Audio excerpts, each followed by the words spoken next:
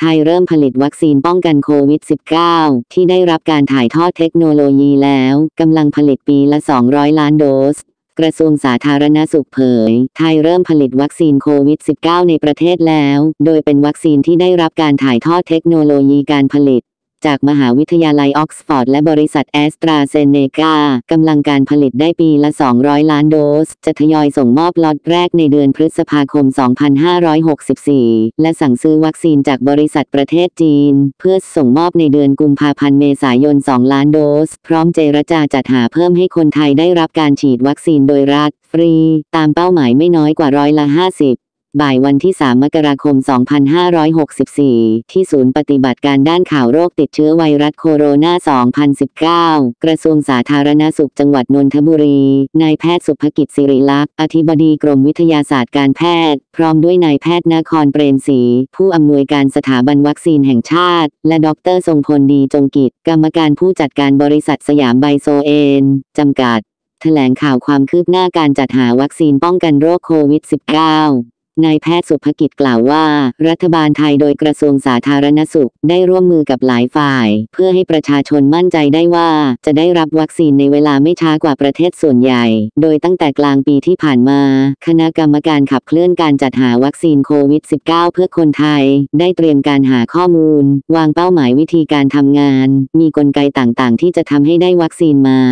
ตั้งแต่ยังไม่ทราบผลการวิจัยวัคซีนชนิดใด ที่จะประสบความสำเร็จ ตั้งเป้าหมายฉีดวัคซีนให้คนไทยโดยรัฐ ฟรี ไม่น้อยกว่าร้อยละ 50 ของประชากร หรือประมาณ 70 ล้านโดส โดยได้ทำสัญญาจองซื้อวัคซีนล่วงหน้าจำนวน 26 ล้านโดสกับบริษัทแอสตอราเซเนกาซึ่งใช้เทคโนโลยีของมหาวิทยาลัยออกซฟอร์ดขณะนี้อยู่ระหว่างถ่ายทอดกระบวนการผลิต ให้กับบริษัทสยามไบโอไซเอนซ์คาดว่าจะเริ่มทยอยส่งมอบได้ภายในปลายเดือนพฤษภาคม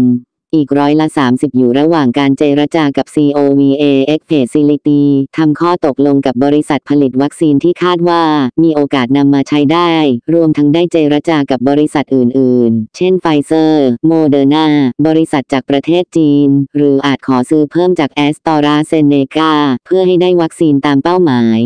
นอกจากนี้มีข่าวดีว่าจะได้รับวัคซีนจากบริษัทซิโน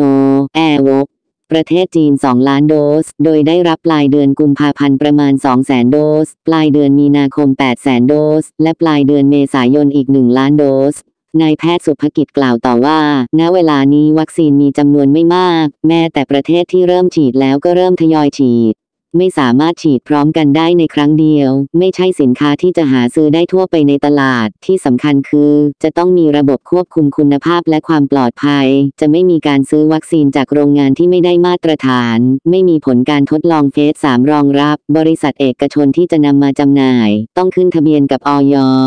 ที่สำคัญคือทุกล็อตที่จะออกสู่ท้องตลาด ต้องได้รับการรับรองคุณภาพจากกรมวิทยาศาสตร์การแพทย์ เป็นการคุ้มครองผู้บริโภค ซึ่งไทยมีกลไกการพิจารณาของคณะกรรมการ ผ่านกระบวนการที่ยืนยันว่ามีมาตรฐานเพียงพอ ให้เกิดความมั่นใจว่าให้คนไทยได้วัคซีนเร็ว และปลอดภัย รวมทั้งเมื่อได้รับวัคซีนมาแล้ว จะดำเนินการตามหลักการบริหารจัดการวัคซีน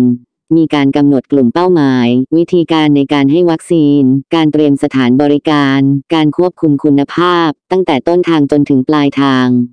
ด้านนายแพทย์นครเปรมศรีผู้อำนวยการสถาบันวัคซีนแห่งชาติ กล่าวว่า ขณะนี้ทั่วโลกมีวัคซีนโควิด -19 ที่ได้รับการอนุญาตให้ใช้ในกรณีฉุกเฉิน EUA แล้วจากผู้ผลิต 9 ราย 4 ชนิดวัคซีนเช่น mRNA viral vector inactivated และ subunit protein ในประเทศไทยจะยอมรับการขึ้นทะเบียนที่มีผลของเฟส 3 มีประสิทธิผลที่ชัดเจน โดยวัคซีนที่มีการขึ้นทะเบียน และได้รับการยอมรับมีเพียง 3 ชนิดคือของบริษัทไฟเซอร์ PA ไฟเซอร์ โมเดอร์นาและแอสตอราเซเนกาที่เหลือเป็นการขึ้นทะเบียนแบบฉุกเฉินโดยใช้ผลการทดลองเฟส2เท่านั้น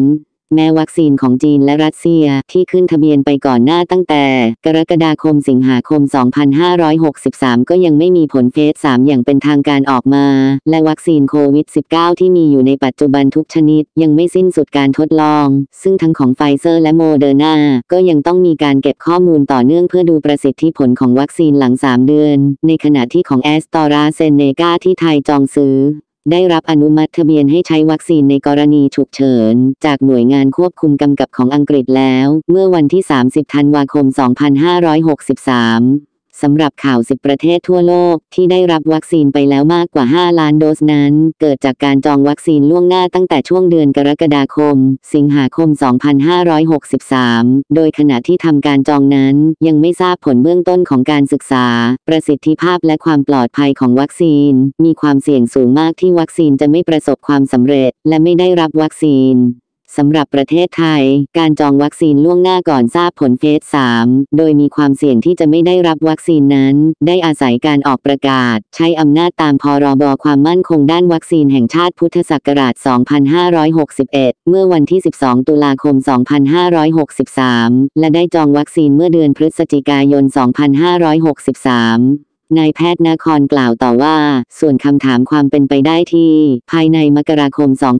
2564 จะมีการฉีดวัคซีนมากขึ้น แต่จะถึงร้อยล้านโดสหรือไม่ ขึ้นอยู่กับจำนวนวัคซีนที่มีอยู่ เนื่องจากขณะนี้วัคซีนมีจำนวนจำกัด ทุกบริษัทกำลังขยายกำลังการผลิต ให้เพียงพอใช้กับประชากรทั้งโลก ซึ่งเป็นโอกาสดีให้เราได้เห็นข้อมูล ด้านความปลอดภัยของวัคซีนมากขึ้น เมื่อมีการใช้วัคซีนในประชากรกลุ่มใหญ่ จะทำให้มีโอกาสพบอาการไม่พึงประสงค์ ภายหลังได้รับวัคซีนที่พบได้ยากมากขึ้น นอกจากนี้ ประเทศไทยไม่ได้มุ่งอยู่กับวัคซีนของแอสตราเซเนกาเพียงอย่างเดียว โดยกระทรวงสาธารณสุขได้กำหนดนโยบายการจัดหาวัคซีน เพื่อให้ครอบคลุมไม่น้อยกว่าร้อยละ 50 ของประชาชนไทยในปี 2564 ซึ่งมีการดำเนินการในหลายแนวทาง อย่างไรก็ตาม การจองซื้อวัคซีนจากแอสตราเซเนกาจำนวน 26 ล้านโดส เป็นเพียงข้อตกลงชุดแรก ขณะนี้ยังมีการเจรจากับผู้ผลิตวัคซีนอีกหลายบริษัท ไม่ได้มีการเจาะจงว่าจะทำความร่วมมือเฉพาะกับผู้ผลิตรายใดรายหนึ่งทั้งนี้ไม่ได้มีการปิดกั้นภาคเอกชนในการนำเข้าวัคซีนมาจำหน่ายในประเทศ โดยทำตามกระบวนการ ที่จะต้องได้รับการอนุมัติจากออย พื่อเป็นการประกันว่า วัคซีนนั้นมีประสิทธิภาพ ความปลอดภัย และเป็นไปตามมาตรฐานสากล รวมทั้งได้มีแผนรองรับการขึ้นทะเบียนวัคซีน เพื่อใช้ในกรณีฉุกเฉิน โดยออยได้มีการเตรียมความพร้อม และกำหนดแนวทางการขึ้นทะเบียนแบบฉุกเฉินไว้แล้ว สามารถประสานขอข้อมูลส่วนนี้ได้ จากสำนักงานคณะกรรมการอาหารและยา ด้านดรทรงพลดีจงกิจ กรรมการผู้จัดการบริษัทสยามไบโอไซเอนซ์จำกัดกล่าวว่า บริษัทสยามไบโอไซเอนซ์ได้รับการถ่ายทอดองค์ความรู้และเทคโนโลยี จากบริษัทแอสตอราเซเนกาตั้งแต่วันที่ 7 ตุลาคม 2563 ได้เตรียมความพร้อมทั้งด้านสถานที่ โรงงาน วัสดุอุปกรณ์ครุภัณฑ์เครื่องจักรปัจจุบันอยู่ในขั้นการทดสอบการผลิต เพื่อให้ได้วัคซีนที่มีคุณภาพดี มีมาตรฐานเทียบเท่ากับมาตรฐานกลาง ซึ่งเป็นมาตรฐานเดียวกับโรงงานผลิตทั่วโลก ภายใต้บริษัทแอสตอราเซเนกามีกำลังผลิตประมาณ 200 ล้านโดสต่อปี หรือเดือนละ 15-20 ล้านโดส ทั้งนี้จะมีการทดสอบใน 5 รอบการผลิต แต่ละรอบผลิตห่างกัน 14 วัน ใช้เวลารอบละ 120 วัน หรือ 4 เดือน เป็นการผลิต 60 วัน และอีก 60 วันสำหรับการตรวจสอบวิเคราะห์คุณภาพ โดยผลิตรอบแรกเมื่อวันที่ 16 ธันวาคมที่ผ่านมากำลังดำเนินการผลิตรอบที่ 2 เมื่อผลิตครบ 5 รอบ จะนำผลยื่นต่อสำนักงานคณะกรรมการองค์การอาหารและยา เพื่อพิจารณาอนุมัติ อย่างไรก็ตามสิ่งสำคัญที่สุดในการผลิตวัคซีนคือ คุณภาพและความน่าเชื่อถือ เพื่อให้ประชาชนมั่นใจ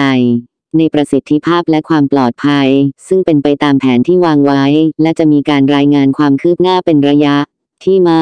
สำนักงานสารนิเทศสป3มกราคม 2564